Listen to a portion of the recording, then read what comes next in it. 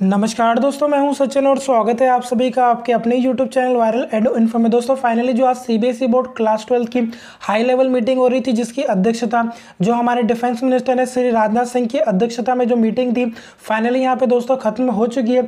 और इस मीटिंग के बाद दोस्तों क्या क्या यहाँ पे फैसले लिए गए, वो सभी मैं आपको इस वीडियो में बताऊँगा। तो दोस्तों वीडियो को पूरा ज़रूर देखेगा बिल्कुल भी यहाँ पे आप स्किप मत करेगा दोस्तों, जो आज यहाँ पे मीटिंग हुई है फाइनली इसमें वैसे तो कोई यहाँ पे ऑफिशियल डिसीज़न नहीं लिया गया, लेकिन उस मीटिंग के बाद दोस्तों यहाँ पे जो न्यूज़ निकल के आ रही, उसकी मैं आपको जानकारी दे रहा हूँ। और दोस्तों, जो आज यहाँ पे मीटिंग कंडक्ट कराई गई थी, उसमें वैसे तो सभी राज्यों ने क्लास ट्वेल्व के जो एग्ज़ाम है, उनको कंडक्ट कराने के लिए दोस्तों यहाँ पे सिफारिश की थी।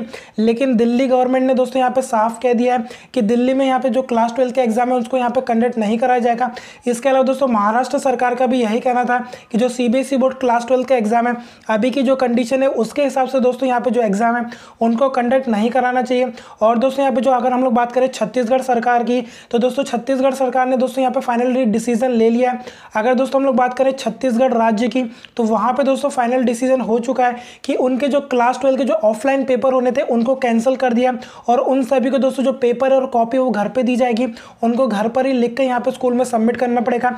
ये दोस्तों जो डिसीज़न है, छत्तीसगढ़ बोर्ड ने यहाँ पे फाइनली ले लिया अगर दोस्तों बात करें जो मीटिंग कंडक्ट हुई, उसमें यहाँ पे क्या डिसीज़न निकल के आ रहा है तो दोस्तों यहाँ पे दो तरीके निकल के आ रहे हैं। पहला तो ये है कि जितने भी आपके सीबीएसई बोर्ड में क्लास ट्वेल्व के सब्जेक्ट होते हैं उन सभी में जो जो आपके इंपॉर्टेंट सब्जेक्ट है, उनके ही यहाँ पे एग्ज़ाम कंडक्ट कराए जाए। इसके अलावा दोस्तों, जो दूसरा ऑप्शन निकल के आ रहा है, वो ये निकल के आ रहा है कि जैसा कि आप सभी को पता है कि जो आपकी बोर्ड परीक्षा, यानी कि जो आपका फाइनल एग्ज़ाम का पेपर है, वो आपका तीन घंटे का होता है। उसको दोस्तों, तीन घंटे का ना करते हुए उसको डेढ़ घंटे में यहाँ पे कंप्लीट कराया जाए और जो आपका पेपर लिया जाएगा, उसमें दोस्तों आपके एम टाइप के क्वेश्चन आने चाहिए और सभी आपके शॉर्ट टाइप क्वेश्चन आने चाहिए। दोस्तों एमसीक्यू टाइप के क्वेश्चन इसका मतलब ये होता है कि आपको क्वेश्चन दिया जाएगा, उसके आपको चार ऑप्शन दिए जाएँगे। उसमें आपको टिक करना पड़ेगा। इस तरीके का आपके यहाँ पे शॉर्ट वाला पेपर लिया जाए, जिसका समय दोस्तों आपको डेढ़ घंटे यहाँ पे दिया जाए। इसके अलावा दोस्तों यहाँ पे न्यूज़ भी आप देख सकते हैं। यहाँ पे मैं आपको दिखा देता हूँ। सीबीएसई बारहवीं परीक्षा पर हाई लेवल मीटिंग खत्म। ऑब्जेक्टिव टाइप होंगे एग्ज़ाम दिल्ली को छोड़ सभी राज्य तैयार। यहाँ पे आप देखिए, बारहवीं की परीक्षा को लेकर शिक्षा मंत्रियों के साथ जारी बैठक खत्म हो गई है।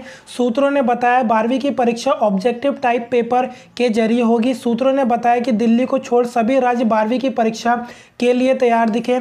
बताया कि परीक्षा होम सेंटर पर ही आयोजित की जाएगी। सूत्रों ने बताया कि password protected e paper centre पर भेजा जाएगा। बैठक में सीबीएसई ने कहा कि जून के आखिरी हफ़्ते में परीक्षा करवा सकते हैं। बैठक के बाद माना जा रहा है कि जल्द ही डेट का ऐलान कर दिया जाएगा। तो दोस्तों, फ़िलहाल अभी जो आज मीटिंग हुई थी, उसके बाद यही सब यहाँ पे ऑफिशियल न्यूज़ निकल के आ रही है। और दोस्तों, अभी आपको सीबीएसई बोर्ड के द्वारा जो ऑफिशियल यहाँ पे नोटिस जारी किया जाएगा, उसके यहाँ पे वेट करना। है क्योंकि दोस्तों, जैसे यहाँ पे सीबीएसई बोर्ड द्वारा ऑफिशियल नोटिस जारी किया जाएगा, उसमें सभी आपके डाउट क्लियर हो जाएँगे। तो दोस्तों, जैसे सीबीएसई बोर्ड के द्वारा ऑफिशियल नोटिस जारी होता है, इसकी तुरंत जानकारी आपको हमारे चैनल के माध्यम से प्रोवाइड करा दी जाएगी। अगर दोस्तों, आपने अभी तक हमारे चैनल को सब्सक्राइब नहीं किया तो सब्सक्राइब ज़रूर करेगा साथ में बेल के आइकन को ज़रूर दबाएगा ताकि दोस्तों, आपको सभी प्रकार की सही और लेटेस्ट जानकारी हमारे चैनल के माध्यम से मिलते रहें। तो दोस्तों, फ़िलहाल इस वीडियो में इतना ही। Thank you for watching thank you so much